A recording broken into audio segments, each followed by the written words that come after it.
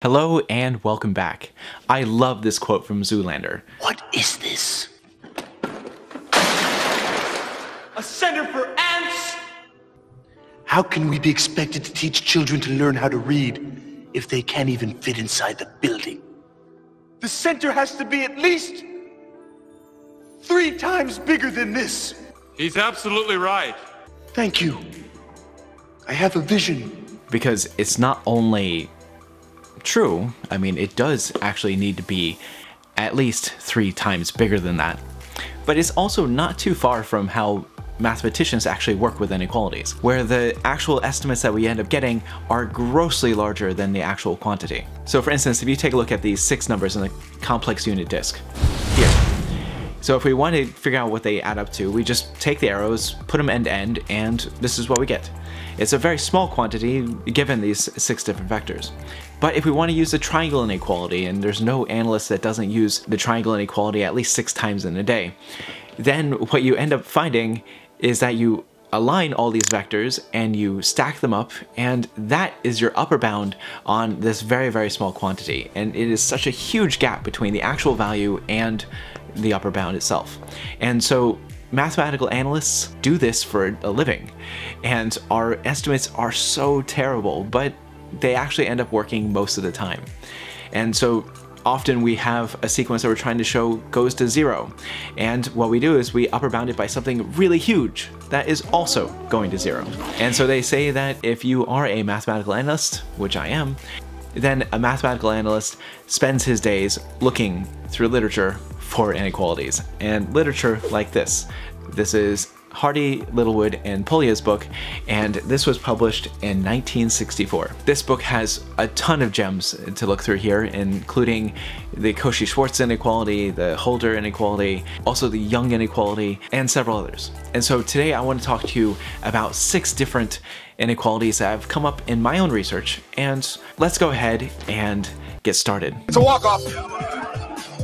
So why don't we start with this one, the Cauchy-Schwarz inequality. It's essentially a theorem about inner products. So if you have, say, a vector in R3 and say x and maybe another one y, and you take their dot product, so you get x1, y1 plus x2, y2 plus x3, y3, you can get an upper bound on the absolute value of that if you take a look at the magnitude of the two individual vectors and you multiply them. And so you can extend this to, say, infinite series. In general, this is the fundamental inequality for all of Hilbert space theory, where in Hilbert space theory, you talk about inner products rather than dot products, and you can have inner products represented through integrals. So for instance, if I have the integral of f times g, say dx, I can get a bound on the absolute value of this integral, by taking a look at, say, the L2 norms of f and g. And this comes up all the time in reproducing kernel Hilbert spaces. So for instance, if you watched the Doctor Strange video, you would have seen that we demonstrated that the Hardy space functions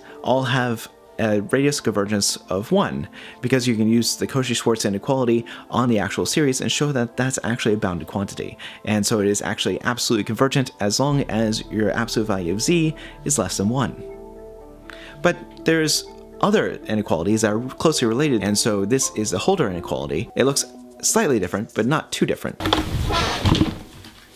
So the Holder inequality, it starts the same way as the Cauchy-Schwarz inequality. So keep in mind, you do need that 1 over p plus 1 over q is equal to 1 but you get pretty much the same thing as what you got for Cauchy-Schwarz.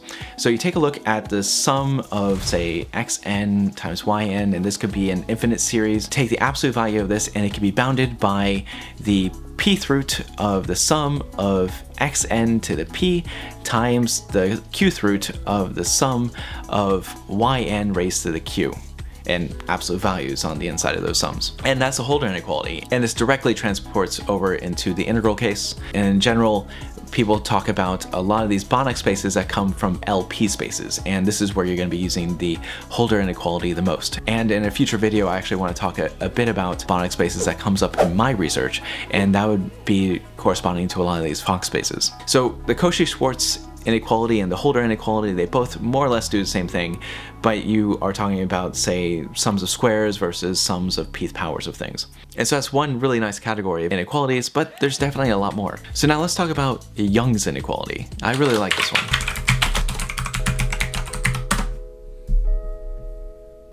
Must be an on button somewhere. Press the apple thing.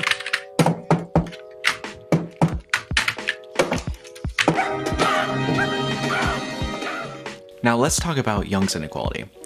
When you think about Cauchy Schwarz and the Holder inequality, something that they do is they sort of maintain the same sort of power in all the coefficients.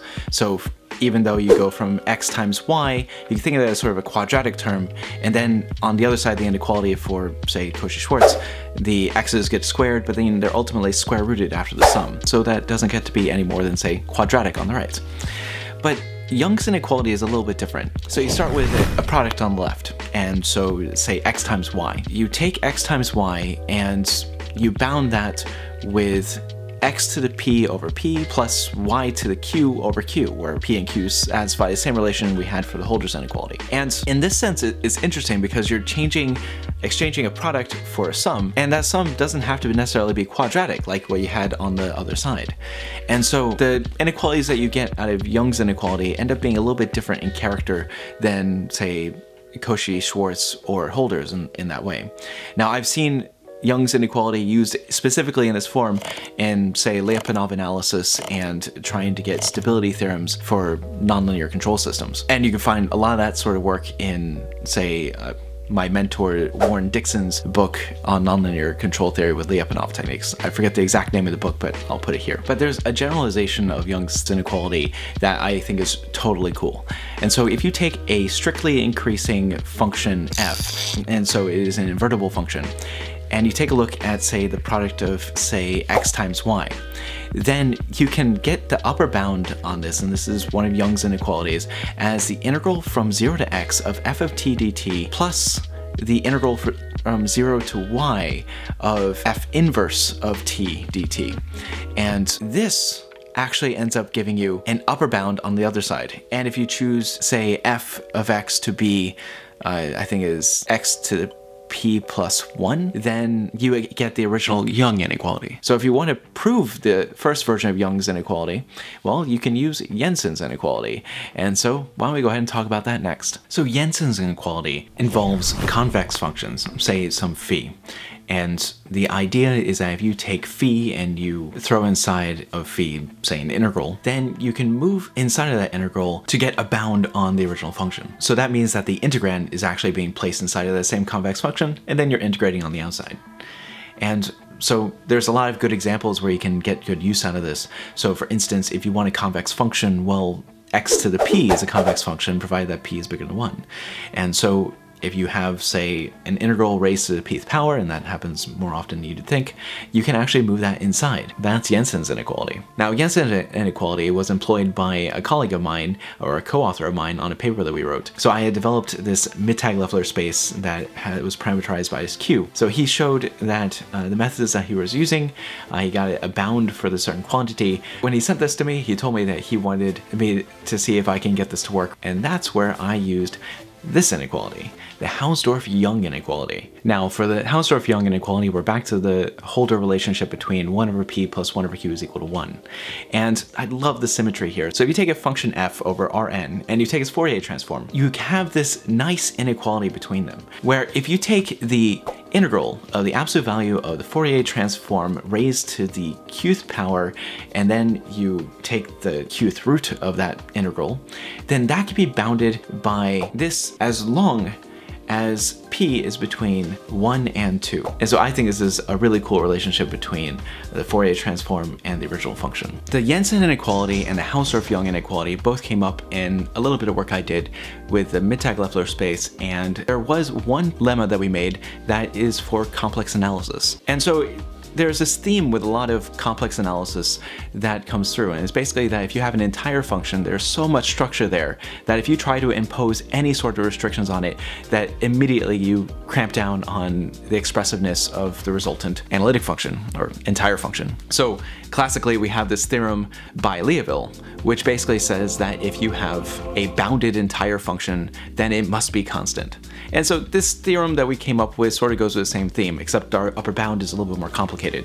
So the bound ends up being the magnitude of some psi of z squared where psi is some entire function. Don't worry about it, it's not really that important for this. Then we have this multiplied by e to the magnitude of phi of z raised to the 2 over alpha for some alpha between 0 and 2, minus the magnitude of z raised to 2 over alpha. And if this ends up being a bounded quantity, then phi must be affine or a linear function. Now the way we get at this is that we try to access something like the Fourier coefficients of phi. And what's really cool is that if you end up taking some entire function and you take a look at its values around the unit circle, if you take those values and you unpack them and you try to find, say, the discrete Fourier series that comes from this, what ends up happening is that these Fourier coefficients correspond precisely with the Taylor coefficients you get when you do a Taylor expansion around the origin. So that allows us to use this bound that you get on the Fourier transform of your function to make statements about the power series of an analytic function. And so then, since we have this identification between the Fourier coefficients of an entire function and the Taylor coefficients of an entire function, we see that if we put in, say, r times z inside of our entire function, then the Fourier coefficients will change by multiples of r as well. And so it's exactly this idea that we end up using. And we had to use Jensen's inequality for alpha in one interval and the Hausdorff-Young inequality for alpha in the other interval. And so let me show you exactly how that ends up boiling down. So here's our objective in the proof. We ultimately want to get an upper bound on a power series with non-negative coefficients. And these non-negative coefficients are going to be coming from our Fourier series that we just talked about. And since these are the Fourier series, that means that these are the absolute values of the coefficients of the original function phi. And now each of one of these coefficients are going to be attached to a power of r, and then as r goes to infinity, we're going to see that that ends up being unbounded. But we also have this other term that's going to end up coming here, and this comes from the magnitude of z. And so this is going to be subtracted by some power of r. And ultimately, the idea is that if this whole quantity, this term that's blowing up to infinity, and this minus r term are going to be competing with each other to get a bounded term on the other side, that means that most of the coefficients out of that power series must be zero, with the exception of maybe the constant and maybe the linear term. And so that's what we're trying to set up here. And so we start off with this inequality, and we're going to take this quantity, we're going to assume that psi is non-zero at the origin, just keep things simple here, and now we're going to take the logarithm of both sides. And so now what I want to do is I want to get rid of this psi.